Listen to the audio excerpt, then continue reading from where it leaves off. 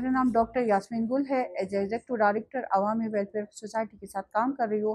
ہم معذوروں پہ کام کر رہے ہیں۔ اس کے رائٹس کے حوالے سے ہم کام کر رہے ہیں۔ میرا جو اپنا وہ ہے کہ آپ لوگ خواتین کے حوالے سے جو خاص کر معذور ہے، خواتین بھی ہے اور معذور بھی ہے۔ ایک تو پہلے سے بھی ہم نظر انداز کی گئی طبقے کو بار بار ہم بتاتے یا پکارتے ہیں۔ جس میں ہم خواتین آ جاتے ہیں اور پھر خواتین بھی وہ بھی معذور خواتین، تو اس کے پیچھے بہت ساری مشکلات ہیں۔ اگر میں اپنا بتا دوں، کیونکہ ابھی بھی ایز کلچرلی کیونکہ ہم جو ہے وہ پردے میں رہتے ہیں، ایک یہ ہمارا ہے۔ دوسرا ہمارا یہ ہے کہ ہم معذور ہے تیسرا ہمارے کیا خاتون ہے تو ہم اگر بات کریں تو پیچھے سے بیس آوازیں اٹھیں گی ہمارے لیے کہ یہ کیوں آگے گئی ہے؟ ایک تو یہ فیمل ہے، ایک یہ تو معذور ہے، یہ آگے جا کے کیا کام کر سکتے کچھ نہیں کر سکتے گھر میں بیٹھ جائے۔ تو یہ بہت ساری دشواریاں ہمارے سامنے آ رہی ہے میرے ساتھ بھی بہت ساری آ رہی تھی۔ پر یہ کہ سپورٹ ملا تھا اپنے گھر والوں کی طرف سے۔ تو شکر الحمدللہ، آج میں نے ایم ڈی کیا ہوا ہے میڈیسن ڈاکٹر بھی ہوں اور کے پی کے ملیریا ایڈوکیٹ کے پی بھی ہوں، جو پورا کے پی میں ڈیل کر رہی ہوں۔ اور اس خواتین کے لیے میں کام کر رہی ہوں، جو معذور ہے، اس کے گھر گھر جا کے اس کے پیرنٹس کو میں اویئر کر رہی ہوں کہ اس کو تعلیم کی ضرورت ہے، اس کو صحت کی ضرورت ہے، وہ چیز اس کو فراہم کرے۔ جس طرح ہمارا ادارہ ہے، ہم نے اسپورٹس میں کام کیا ہے۔ اسپورٹس میں ہم نے فیمل اور میل دونوں کی، وہ کیا ہوا تھا۔ اور اس کے علاوہ ایجوکیشن میں ہم نے، جو فیمل بچی یا تھی، معذور بچے تھے اس کے لیے ہم نے گفٹس بھی رکھے ہوئے تھے پھر ہم نے گیمز بھی اس کی کروائی تھی اور ایجوکیشن لیول پہ اس کو ایڈمیشن بھی دلائی ہے، سر۔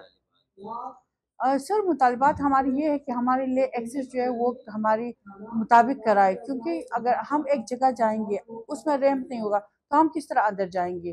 ایک تو پہلے راستہ ہمارا یہی ہے نا، کیونکہ ہم اس راستے سے جائیں گے تو ہمارے لیے راستے بنائے وہ راستے آسان کرے دوسرا جو ہماری قانون سازی ہو رہی ہے، ہمارا پائے جو ہے وہ سفارت خانے میں پڑا ہے۔ تو اس کو اٹھائے جائے، اس کو پڑھا جائے، اس کو آسان کیا جائے۔ کیونکہ اس کو اتنا لمبا چوڑا پائل بنا دیا ہے کہ کوئی بھی اس کو پڑھنے کی وہ نہیں ہے۔ تو اس کو پڑھا جائے، اس پہ عمل کیا جائے اور جو ہمارے لیے مختص کوٹے تعلیم میں، ایجوکیشن میں، پوسٹ میں، وہ سارے ہمیں فراہم کر دی جائے۔ سر، اگر ہم بات کریں تین چیزوں کی، نیڈس، رائٹ، رسپانسبلٹی۔ ہم نیڈس دیکھتے ہیں۔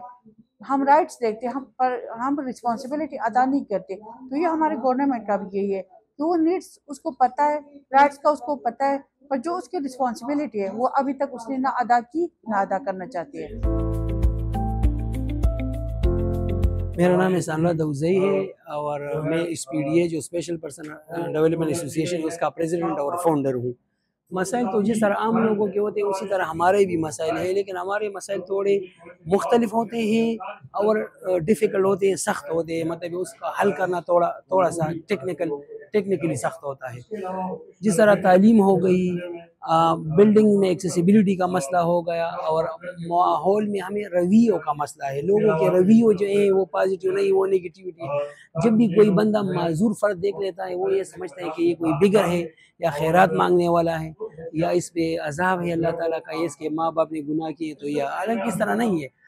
ہم بھی اللہ کے مخلوق ہے اور اللہ انسان کو جس طرح کر چاہتا ہے اسی طرح پیدا کرتا ہے جس تخلیق میں وہ جس شکل میں اللہ تعالیٰ چاہتے ہیں وہ پیدا کر دیتا ہے۔ تو ہم چاہتے ہیں کہ ہمیں ایکول رائٹس دیے جائیں۔ جس طرح عام برابری کے حقوق ہے عام ہم عام انسان ہیں ہمیں ایجوکیشن کا حق دے۔ صحیح ہمیں جاب امپلائمنٹ کا حق دے ہمارے۔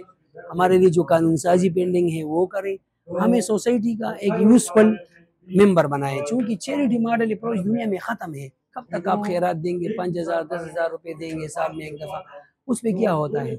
ایک بندہ جس طرح وہ چینی کہاوت ہے کہ اگر آپ کسی کو کامیاب کرنا چاہتے ہیں تو اس کو مطلب بنایا ہوا یا پکایا ہوا فش مت کھلائے اس کو فش یا مچھلی پکڑنے کا طریقہ بتا دیں۔